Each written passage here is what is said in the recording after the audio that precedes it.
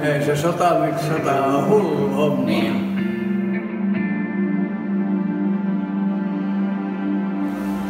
Olavi pihamaa. Mä oon Joonatti. Ruunokset tässä on.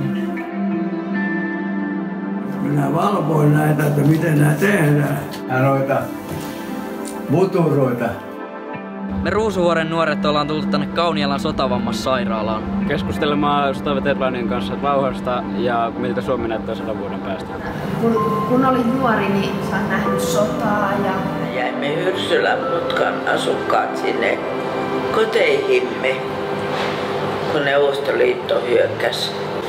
Ja yksi ammus tuli niin lähelle sitä, ei lauennut. Saimme elämän syliin kuori lapsi, kun kuorma-auton lavalla. Ja, ja kun joutuu semmoiseen tilanteeseen, ja tietää, että tämä on tällainen, on vain toive, että päästään ehkä joskus pois. Joo. Tietääkö pojat, mikä on maasotakoulu? Ei maastokoulu. No, en. Ei, oli kiire saada miehiä rintamaan. Ei, kun päästiin siviiliin. Ai se oli Joo, koulutus. Venäjä sanoi, että nyt loppu koulutus. Se loppui siihen ja me päästiin sitten siviiliin.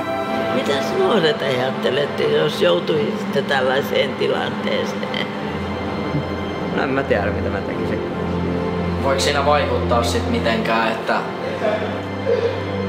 jos niinku joutuu sotaan sen ikäisenä, mutta joo, kyllähän mä olisin aika niinku kauhuissani sinänsä, että että vanhemmatkin sitten on aina kertonut, että kuin onnekkaita me ollaan ja kuin hyvät niinku olosuhteet on niinku Suomessa ainakin tällä hetkellä. Ja sitten osa, osa olla häiriöllä ja kiitollinen kaikesta, mitä on jo. Niin.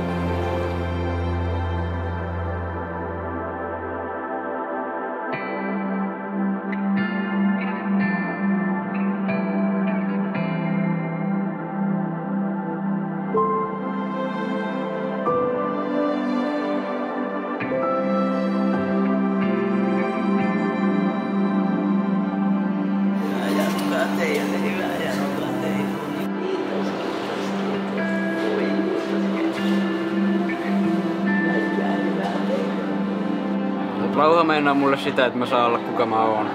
Ja sitten voi ilmaista omat mielipiteet ja voi elää rauhassa Suomessa. Kiitos, kiitos, kiitos.